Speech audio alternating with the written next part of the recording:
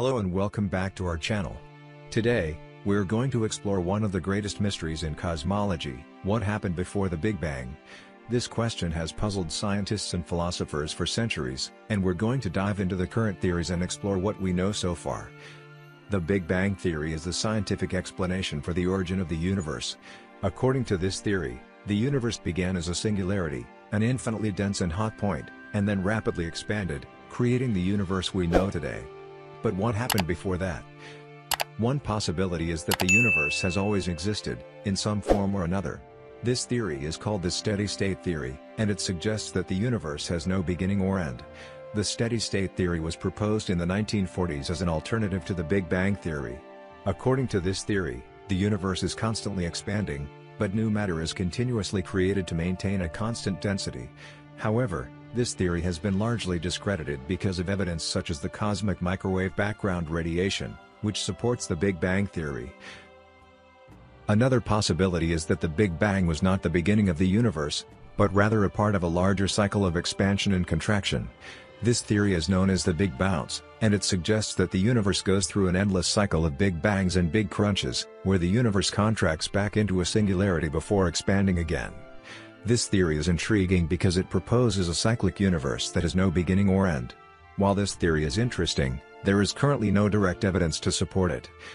One of the most fascinating theories about what happened before the Big Bang is the concept of the multiverse. The multiverse theory suggests that our universe is just one of many universes that exist in a larger, infinite multiverse.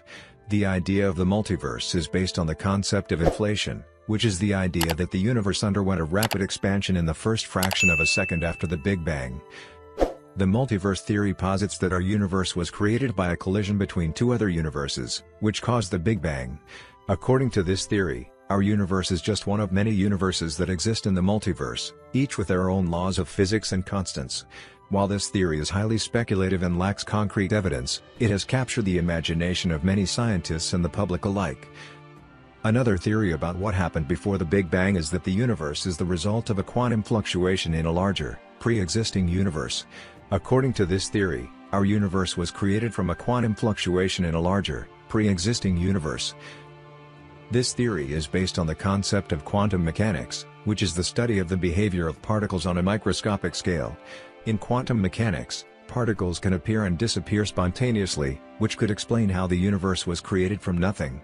However, this theory is also highly speculative and lacks concrete evidence. In conclusion, the question of what happened before the Big Bang remains one of the greatest mysteries in cosmology. While scientists have put forth various theories and hypotheses, we still don't have a definitive answer. The Big Bang theory has been the prevailing explanation for the origin of the universe for decades, but there are still many unanswered questions.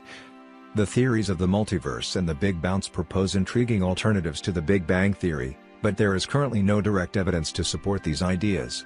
The search for the answer to this question continues, and with continued research and exploration, we may one day unravel this enigma and uncover the true origins of our universe. Until then, the mystery remains, and the quest for knowledge continues. Thank you for watching. If you enjoyed this video, please like and subscribe to our channel for more content about the mysteries of the universe.